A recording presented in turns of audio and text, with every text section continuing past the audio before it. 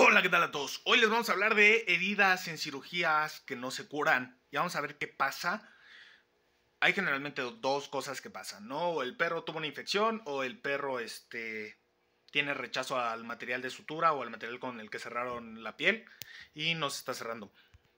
Hay una tercera causa, pero es menos común, que es una coagulopatía. ¿Qué significa esto? Que su sangre no no coagula bien. La sangre, hagan de cuenta que es como el cemento de, del cuerpo cuando hay una herida.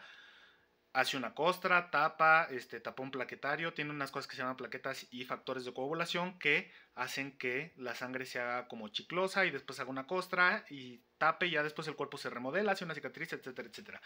Hay veces que tienen una deficiencia en esta coagulación y van a tener problemas al cerrar heridas, ¿no? Pero es, es, muy raro. Entonces tenemos tres. Rechazo a la sutura, infección o coagulopatías.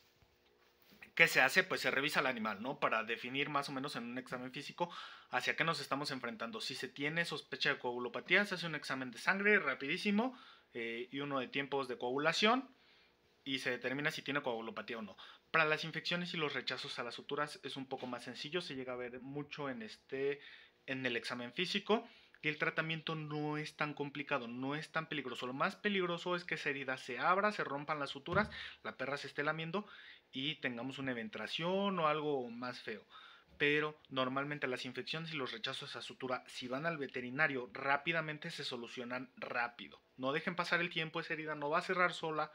Si está supurando mucho, si tiene mucho líquido después de tres días, eh, si no ven que cicatrice para nada, si está sacando líquidos amarillentos, verdosos, si la herida huele mal, se ve mal, vayan al veterinario. Si está muy inflamada igual, vayan al veterinario. Es un problema fácil de resolver. Llega a ser tardado, pero no peligroso.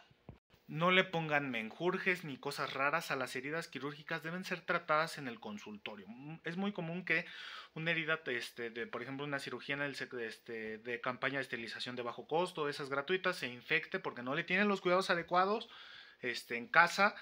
Se lame el perro, otro perro va y lo lame, se está rascando, se infecta y es algo fácil de tratar en un consultorio normalmente mal hecho, la gente trata de tratarlos en su casa y le ponen, le ponen miel, le ponen, le ponen agua oxigenada, le ponen alcohol, le intentan poner toques de violeta y agravan más las cosas, amigos.